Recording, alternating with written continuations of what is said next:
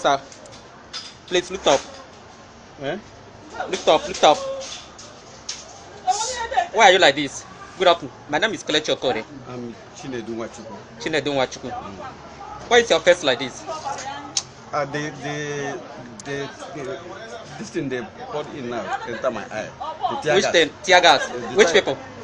This uh, army people, Nigerian army people. Nigerian army people. Mm. What have you done to them for them I never to? do. I never done anything to them. I never, You did nothing. I did nothing. And they splitted tear gas on you. And they split tear gas on me. Wow. Look at this man. He's just fighting for his children and great grandchildren freedom. Nigeria government is upset. Look at him. He's mature enough. If I'm to add, anything this man is fighting for is not for him now. Because he's overdue just because of his children and great grandchildren. Nigeria government couldn't allow him to rest. Look at him. Look at it. They split tear gas on him. Even Bayelsa yesterday.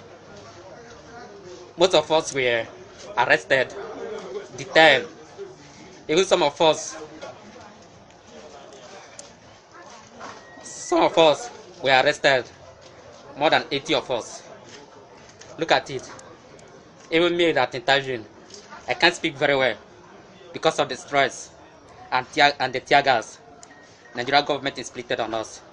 Look at this man. Look at it. Is this man a young man? I don't think so. Everything he's doing is just for the sake of his children and Biafra as a whole.